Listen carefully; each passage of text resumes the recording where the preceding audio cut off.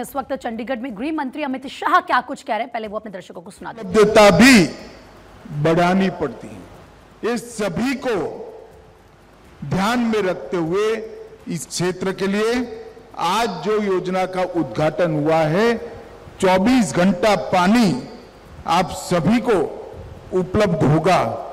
Mobile में आज से बहनों को अलार्म लगाने की ज़रूरत नहीं पड़ेगी। जब भी आपको काम हो, नल चालू कर दीजिएगा, पानी उपलब्ध होगा। कोई टैंकर नहीं होगा। पहला मजला हो या चौथा मजला, ज़रूरी प्रेशर के साथ मनी माजरा के पूरे क्षेत्र में एक लाख लोगों को पानी मिलने की आज से शुरुआत हो रही है। लगभग 75 करोड़ इसके पीछे खर्च हुआ है। एक लाख से ज़्यादा आबादी को इसका फ़ायदा मिलेगा और 855 एकड़ में फैली हुई ये बस्ती आबादी 22 किलोमीटर नई पाइपलाइन से अब 24 घंटा पानी की उपलब्धता होगी। जब पानी 24 घंटा देना होता है तो स्वाभाविक है, अंडरग्राउंड रिजर्वर बनाए पड़ते हैं। यहाँ पर दो विशाल रिजर्वर्स बनाकर 24 घंटे की उपलब्धता सुनिश्चित कर दिए हैं। और स्मार्ट मीटर लगाने से लीकेज का खर्च भी अब आप पर नहीं आएगा। घर में भी लीकेज है तो तुरंत आइडेंटिफाई हो जाएगा। और वीडीएफ पंप्स लगा वीएफडी पंप्स लगाकर भी इसको प्रेशर ढंग से आए इस सारी व्यवस्थाओं को किया है।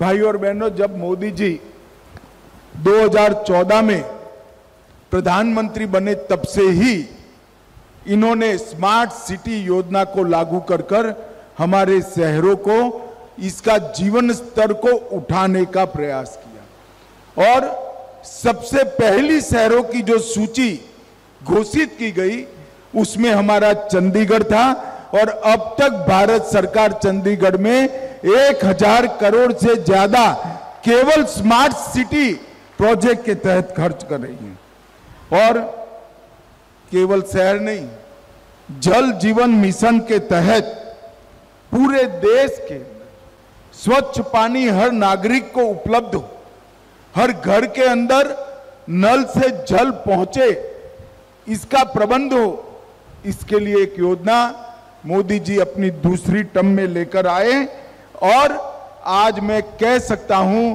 पंद्रह करोड़ घरों में, सात साल के कम अंतर में, पंद्रह करोड़ घरों में पानी पहुँचाने का काम पूरा हो गया है। देश के चौहत्तर प्रतिशत सेवेंटी फोर परसेंट घरों में पीने का पानी स्वच्छ उपलब्ध हो गया है। और आंकड़े देखिए, ये नल से जल योजना जल जीवन मिशन योजना शुरू होने के बाद डायरिया संबंधित मृत्यु में देश में तीन लाख की कमी आई।